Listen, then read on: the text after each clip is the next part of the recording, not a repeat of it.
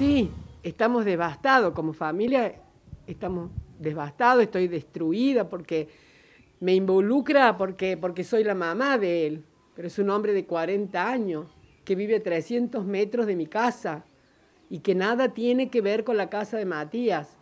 Yo les he dicho que le pregunten al fiscal, hablen con el fiscal. Él les va a explicar si la casa de Matías tuvo algo que ver en esto. Estoy pagando las consecuencias por ser la madre, pero yo soy una luchadora y Jesús María sabe, Jesús María sabe de eso, de que hace 25 años lucho contra la droga, que, que, que he dado charla, que me he hecho cursos para aprender, para poder salvar los chicos. Entonces yo no sabía absolutamente nada, porque si yo hubiera sabido, hubiera sido la primera en denunciarlo. Pero yo no quiero que me hagan como las redes sociales están haciéndome cargo de la conducta de un hombre de 40 años. Yo lo crié con mi esposo de la mejor manera posible y fue un hombre de bien. Nunca me trajo un problema, nunca. Tiene unos hijos excepcionales que por eso debemos estar tan destruidos y los hijos deben estar igual.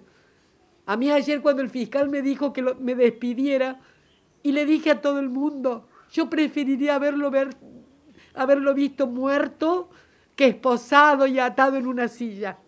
Es muy fuerte el, dolor tuyo. Es muy fuerte. Y yo, y cuando entré, me dijo, discúlpame, mamá. Y yo le dije, no, yo no te disculpo porque no nos merecíamos esto, no nos merecíamos esto por, por nuestra lucha, por nuestro trabajo.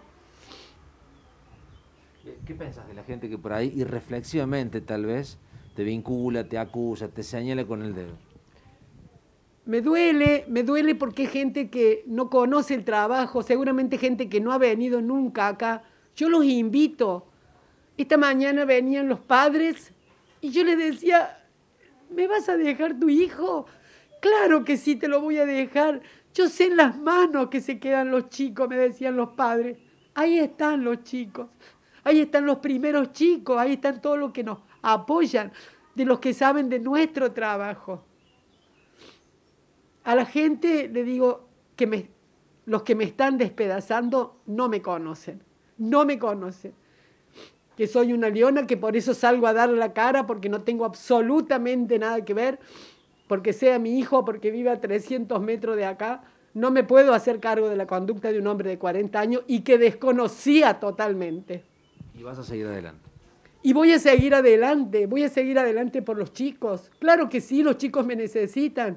Y hasta el último momento de mi fuerza lo voy a hacer. Eso no me lo va a prohibir nadie ni la sociedad, ni el mundo entero. Mientras yo pueda hacerlo, lo voy a hacer. Gracias a usted.